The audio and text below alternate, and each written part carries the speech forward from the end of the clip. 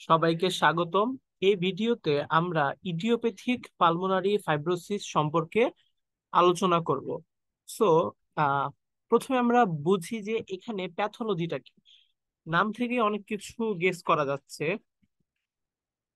Idiopathic pulmonary fibrosis প্রথমত এই ডিজিজটার অ্যাকচুয়াল কজ এখনও ইস্টাবলিশ না।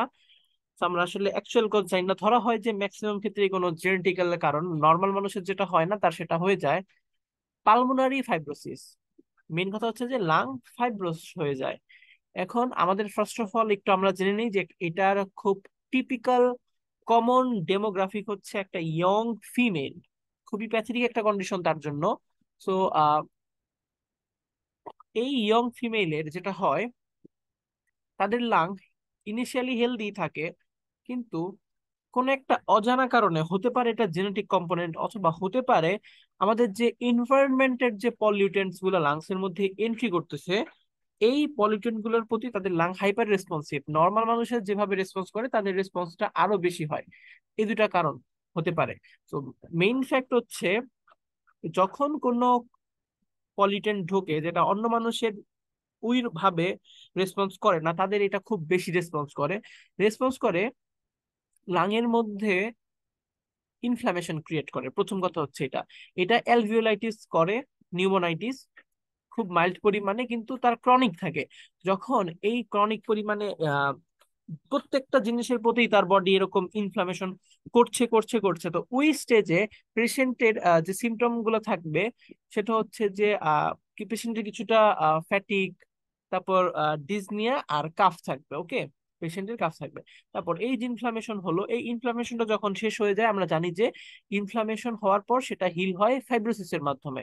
এটা হচ্ছে মেইন পয়েন্ট আর যখন এরকম তার অ্যালভিউলাসের মধ্যে ইনসাল্ট হয়, আমরা জানি যে অ্যালভিউলাসের মধ্যে যে সেলগুলো আছে, সেখানে আছে দুই ধরনের নিউমোসাইট টাইপ ওয়ান নিউমোসাইট আর type two pneumocyte almost ninety seven percent cover করে হচ্ছে টাইপ ওয়ান নিউমোসাইট এই এক্সটার্নাল ইনসাল্ট এসে টাইপ ওয়ান নিউমোসাইট গুলাকে ডিস্ট্রয় করে ফেলে। যখন আর টাইপ ওয়ান নিউমোসাইট থাকে না, সেখানে পড়ে থাকে হচ্ছে type two pneumocyte.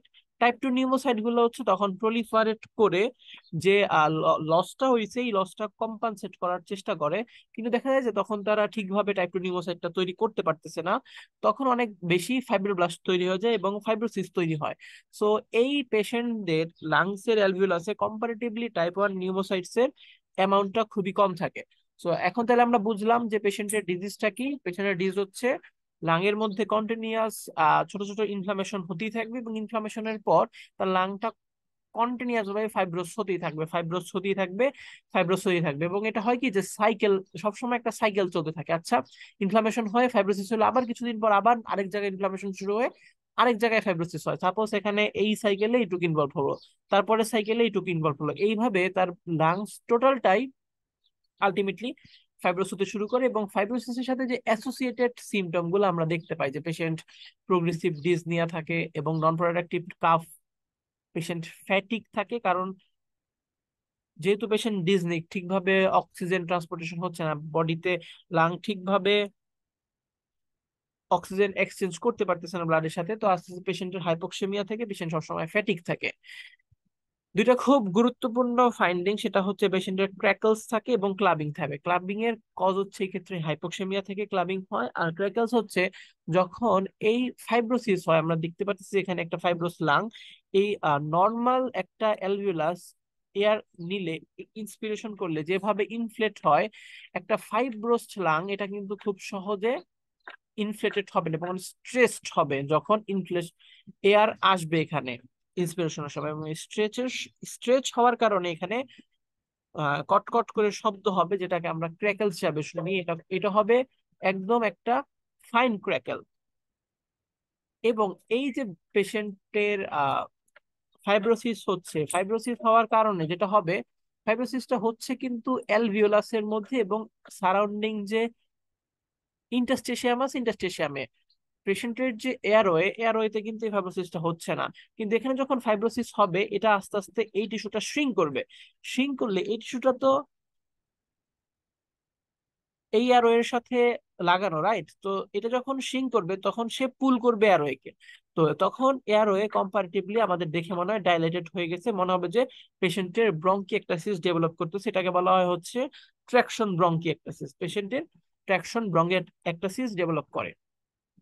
এখন এই হচ্ছে পেশেন্টের সাইন সিমটম একটা ফিমেল আসবে ইয়ং ফিমেল ক্রনিক পেশেন্টের ডিজনিয়া এবং খুব উনি আস্তে আস্তে উইক হয়ে যাচ্ছেন, শ্বাসকষ্ট। আর যেহেতু জেনেটিক কম্পোনেন্ট তার মায়ের এরকম একটা কমপ্লেন থাকতে পারে যে তার মা অল্প বয়সে মারা গেছে, তার মা ওইরকম ক্রনিক ফ্যাটিক হয়ে যেত। এখন এই পেশেন্টগুলার কি কি কমপ্লিকেশন হয়? এই লাং এরকম হয়ে গেলে সমস্যাটা কি? সমস্যা হচ্ছে যেহেতু এই এরকম ফাইব্রোসিস হয়ে গেলে একটা রেস্ট্রিকটিভ লাং ডিজিজ তৈরি হয় এবং ঠিকভাবে গ্যাস এক্সচেঞ্জ হতে পারে না। কারণ ফাইব্রোসিস হয়ে গেছে, এখানে থিকনেস অনেক বেশি। এখান দিয়ে তো ঠিকভাবে গ্যাস এক্সচেঞ্জ হবে না।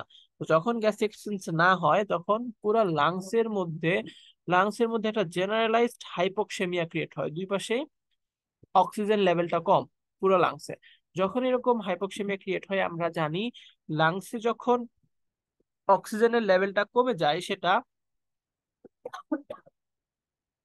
সেটা ব্রঙ্কোকনস্ট্রিকশন করে। সো ব্রঙ্কোকনস্ট্রিকশন হবে এবং ডিফিউজ ব্রঙ্কোকনস্ট্রিকশন হবে। এত বেশি ব্রঙ্কোকনস্ট্রিকশন হওয়ার কারণে আমাদের যে পালমোনারি আর্টারি পালমোনারি আর্টারির প্রত্যেকটা ব্রাঞ্চ কনস্ট্রিকশন হওয়ার কারণে পালমোনারি আর্টারি রেজিস্ট্যান্সটা অনেক বেড়ে যাবে এবং ultimately pulmonary hypertension develop করবে। পালমোনারি হাইপার টেনশন যখন ডেভেলপ হয় এইটা অ্যাসোসিয়েশন থাকে হচ্ছে আমাদের রাইট ভেন্ট্রিকুলার সাথে। সো পেশেন্টের রাইট ভেন্ট্রিকুলার হাইপারট্রফি হওয়া শুরু হবে এবং ইভেনচুয়ালি রাইট ভেন্ট্রিকুলার হাইপারট্রফি থেকে আস্তে আস্তে পেশেন্টের রাইট ভেন্ট্রিকুলার ফেইলিয়রের দিকে চলে যাবে। তখন আবার রাইট ভেন্ট্রিকুলার ফেইলিয়র যে কার্ডিনাল সাইন পেশেন্টের ওই সিমটমগুলো দেখা দিতে পারে। এটা খুব গুরুত্বপূর্ণ একটা কমপ্লিকেশন এবং মর্টালিটি রেট এর অনেক বেশি বাড়ায় দেয়।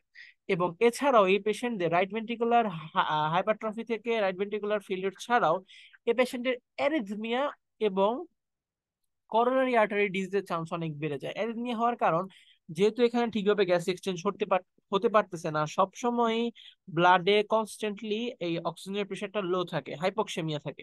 হাইপোক্সেমিয়া থাকলে ঠিকভাবে হার্টের মধ্যে অক্সিজেন সাপ্লাই হয় না প্লাস হার্টে কিন্তু ফাংশন অনেক বেড়ে গেছে রাইট ভেন্ট্রিকালকে অনেক বেশি কাজ করতে হচ্ছে। এখানে একটা স্ট্রেন তৈরি হয়। এই স্ট্রেইন থেকে অ্যারিথমিয়া এবং কি কর্নারি আর্টারি ডিজিজও হয়ে যেতে পারে। পেশেন্টের ইস্কেমিয়া থেকে এমআই ব্যানজাইনাও ডেভেলপ করতে পারে। এবং আলটিমেটলি পেশেন্টের রেসপিরেটরি ফেইলিওর হয় এই ডিফিউজ ফাইব্রোসিস থেকে। এবং এই তো যেহেতু ক্রনিক একটা ইনসাল্ট হচ্ছে, আবার ফাইব্রোব্লাস্ট পলিফারেশন করতেছে, আবার ইনসাল্ট হচ্ছে, এরকম ক্রনিক সেলের টার্নওভার লাং ক্যান্সারের সাথে অ্যাসোসিয়েটেড পেশেন্টের increase incidence of lung cancer দেখা যায়। তো এটা হচ্ছে পেশেন্টের প্রেজেন্টেশন এবং প্যাথোজেনেসিস এবং কমপ্লিকেশন এখন আমরা ইনভেস্টিগেশন করলে কি পাবো? এটা হচ্ছে সিটি স্ক্যান এবং এই পেশেন্টগুলোর এক্স রে আমাকে, আমাদের খুব ভালো করে বুঝতে হবে এবং ফাইন্ডিংগুলো দেখতে হবে যে আসলে কোথায় কি আছে। তো এটা হচ্ছে একটা এই ইডিওপ্যাথিক পালমোনারি ফাইব্রোসিস পেশেন্টের চেস্ট এক্সরে এখানে কিন্তু আমরা দেখতে পারতেছি এই যে অপাসিটি আছে। অপাসিটি মানে হচ্ছে এই সাদা জিনিসগুলা। এত বেশি দাগ দাগ দাগ দাগ মানে বোঝাই যাচ্ছে যে এখানে ফাইব্রোসিস অনেক বেশি ফিব্রিন জমা হয়ে আছে। ফিব্রিন জমা হওয়ার কারণে এই জিনিসগুলা পুরা লাং একটা ডিফিউজ অপাসিটি তৈরি করতেছে, ঠিক আছে? এটা এটা হচ্ছে এই যে সব জায়গায় দেখা যাচ্ছে। এটা আমাদের এক্স রে ফাইন্ডিং আর সিটি স্ক্যানের ফাইন্ডিংটা খুব গুরুত্বপূর্ণ। এখানে খুব ভালোভাবে এদেরকে বোঝাচ্ছে এই জিনিসটাই আমরা যদি সিটি স্ক্যানে দেখি এই সেকশনে তাহলে দেখেন যে এইটুকু এখন ইনভলভ হয় নাই, কিন্তু এই পোর্শন এই পোর্শন এখন ইনভলভ হয়ে গেছে। এখানে ভালো করে দেখলে বোঝা যায় অ্যালভিউলার স্পেসের মধ্যে এই যে ফাইব্রাস সেপ্টাম এগুলা যেগুলো হোয়াইট হোয়াইট এগুলা কত ডেন্স কত বেশি ফাইব্রোসিস হয়ে গেছে। এই ফাইব্রোসিসের জন্য এরকম হোয়াইট প্যাটার্ন আসতেছে এখানে এক্সেতে ওকে তো এইটা খুবই ভালো করে ডেমনস্ট্রেট করা যায় এবং এই যে এগুলা ফাইব্রোসিস হয়ে যাওয়ার কারণে এটা ট্র্যাকশন করতেছে, তার সারাউন্ডিং যে এয়ারওয়ে আছে, এই এয়ারওয়েকে যার কারণে এই এয়ারওয়েটা কম্পারেটিভলি একটু ডাইলেটেড হয়ে গেছে। এটাকে বলা হচ্ছে ট্র্যাকশন ব্রঙ্কিএক্টাসিস এবং এই পেশেন্টগুলার এই যে প্লুরার নিচে পেরিফেরাল রিজিয়নে এই যে ফাইব্রোসিস হয়ে একটা জালের মতো প্যাটার্ন দেখা যায়, এই যে জালের মতো একটা প্যাটার্ন দেখা যাচ্ছে, এটার নাম হচ্ছে peripheral nodule reticular opacity peripheral মানে পেরিফেরির দিকে আছে মানে প্লুরা যে সাইডে সেই দিকে। এবং রেটিকুলার মানে জালের মতো। জালের মতো এবং ওপাসিটি মানে তো হচ্ছে এই সাদা জিনিসগুলা। তো এই পেরিফেরাল রেটিকুলার ওপাসিটি এটা খুবই pathognomonic for idiopathic pulmonary fibrosis okay so আমরা এই জিনিসটা নিয়ে মোটামুটি আলোচনা করে ফেলেছি। এখন দেখি আমাদের বই কি আছে। এটা হচ্ছে progressive lung disease unknown aetiology এবং রিপিটেড সাইকেলে হয়। কজ হচ্ছে এনভায়রনমেন্টাল পলিউশন স্মোকিং করলে এটা অবভিয়াসলি আরও ফাস্ট হয় এবং এটা এটার কজ হিসেবে হতে পারে। জেনেটিক কম্পোনেন্টটা খুবই স্ট্রং প্রোগ্রেসিভ ডিজনিয়া ফ্যাটিক আমরা আলোচনা করেছি। যখন এরকম কন্টিনিউয়াস এরকম হতেই থাকে ট্র্যাকশন ব্রঙ্কিয়াটিসিস হয় এবং আলটিমেটলি দেখে কিন্তু মনে হচ্ছে যে হানিকম অ্যাপিয়ারেন্স ওকে মৌচাকের বাসার মতন। সো হানিকম অ্যাপিয়ারেন্স হয় লাঙের দিকে, একদম অ্যাডভান্স স্টেজে এবং হিস্টোলজিক্যাল প্যাটার্ন যদি করি, তাহলে এটা ইন্টারস্টেশিয়াল নিউমোনিয়ার মতো দেখা যায়। ইন্টারস্টেশিয়াল নিউমোনিয়াতে কি হয়? টাইপ ওয়ান নিউমোসাইটস কমে যায় টাইপ টু নিউমোসাইটস বাড়ে এবং ফাইব্রোব্লাস্ট বাড়ে। কেন কীভাবে এটা হয়? আমরা কিন্তু অলরেডি ডিসকাশন করেছি কেন টাইপ টু নিউমোসাইটস বাড়ে। কারণ যেহেতু আমাদের অ্যালভিওলাসে ম্যাক্সিমাম পোর্শনই তৈরি হচ্ছে অ্যালভিওলা টাইপ ওয়ান নিউমোসাইটস দিয়ে সো যখন অ্যালভিওলার ইনজুরি হবে টাইপ ওয়ান নিউমোসাইটসটা ইনজুরি হবে। আর type two pneumocytes type two pneumocytes বাড়ে, তার কারণ হচ্ছে যে কোনো ইনজুরি হিল করে টাইপ টু নিউমোসাইট তখন সেটা বাড়বে, সাথে ফাইব্রোব্লাস্ট বাড়িয়ে দিবে। সো কমপ্লিকেশন নিয়ে আমরা আলোচনা করেছি। এই ছিল ইডিওপ্যাথিক পালমোনারি ফাইব্রোসিস সবসময় মনে রাখতে হবে কমন ডেমোগ্রাফিক হচ্ছে একটা young female young female dyspnoea নিয়ে আসতেছে এবং ডিজনিয়াটা প্রোগ্রেসিভ রেস্ট্রিকটিভ প্যাটার্ন এটা more likely idiopathic pulmonary fibrosis আশা করি এখন আপনারা প্যাথোলজিটা বুঝতে পারছেন এবং রেডিওলজি এবং হিস্টোলজিক্যাল জিনিসগুলো ডিফারেন্সিয়েট করতে পারবেন। সো তারপর যদি কোনো কনফিউশন থাকে কমেন্ট বক্সে জানাবেন। আর আপনাদের সবাইকে অসংখ্য ধন্যবাদ। ভালো থাকবেন, সুস্থ থাকবেন।